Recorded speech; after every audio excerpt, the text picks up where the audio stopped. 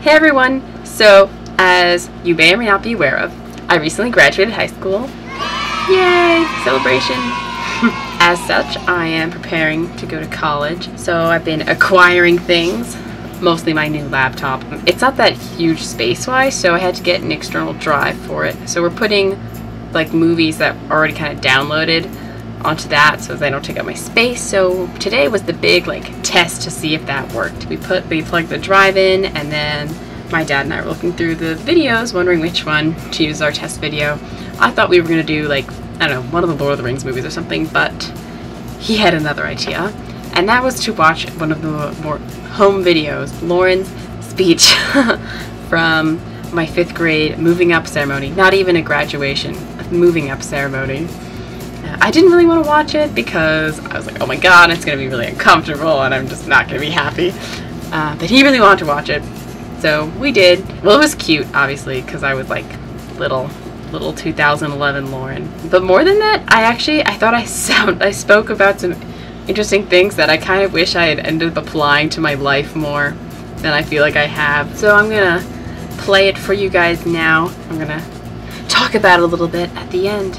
See you there.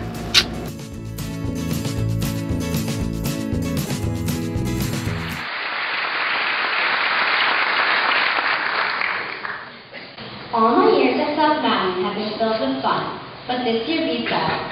One thing that sparks in my mind is post. On my first day of Space Patrol, I was nervous. What if Mrs. Connors passed and listened to me? At the time, I wished for a door post, but now I'm glad I had a class. I've made many new friends, like my partner Catherine, and several third graders. Looking back on it, I now see how insecure I felt. Now if I look at myself, I see a confident girl. I now believe that one reason fifth graders get a post is so they can learn that even if they're nervous about something, they can always succeed. I've learned many things at South Mountain, and not just in academics. I've learned about trust, how to trust a friend to not always jump to conclusions. I've learned about loyalty, kindness, courage, how to stand up to bullies, how to be brave. Not all schools teach those things, but my school does, and if they hadn't, I would be a different person today. At some schools, people go to their classes, say hi to their classmates, and ignore them for the rest of the day. It's not like that here. At South Mountain, our classmates are more than that. They're our friends, and we don't ignore them. We try not to hurt each other. Sometimes it just happens. But since we're friends, we can make up. South Mountain doesn't just leave you with a yearbook. It leaves you with memories you can always look back at. So the yearbook can help you remember, it's the events that have left a mark. A few memories that I will treasure forever happened at Camp Fairview Lake. One of those happened at the campfire when we were all together singing. I felt the barriers dissolve between us as we became one big circle instead of the many small ones we were usually in. If I ever feel that South Mountain is far away, I'll just look in my heart and find the South Mountain spirit inside. I know South Mountain will always be a part of me, but that doesn't mean I won't miss it. I miss my teachers, but they too are in my heart and won't leave me. As one door closes, another opens. As fifth grade ends, sixth grade begins, and I can't wait. So hopefully you guys enjoyed that video, at least a little bit.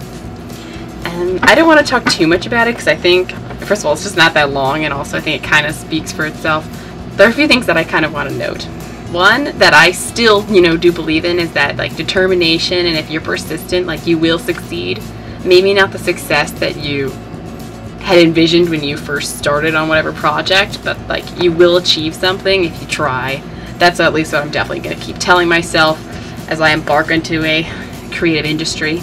I do wish that um, I had listened to myself about not jumping to conclusions because I just definitely still jump to conclusions about things. I help less than like I used to, but probably not.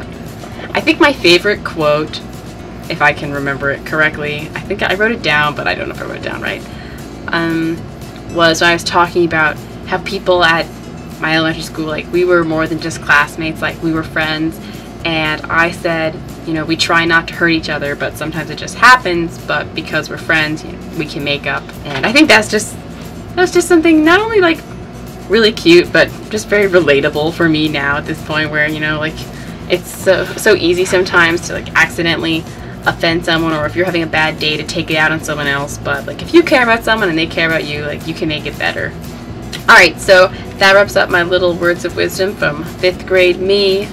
If you like this video, be sure to give it a thumbs up and subscribe if you want to see more of me. You probably won't see more little videos, but more of me now. Um, yeah, have a good day. Bye! It's crazy. I was like such a smart little 5th grader, and then I lost it all. Do you ever read that book, The Phantom, The Phantom Tollbooth? They they talk. They have a little bit where they jump to conclusions. It's like that's me all the time.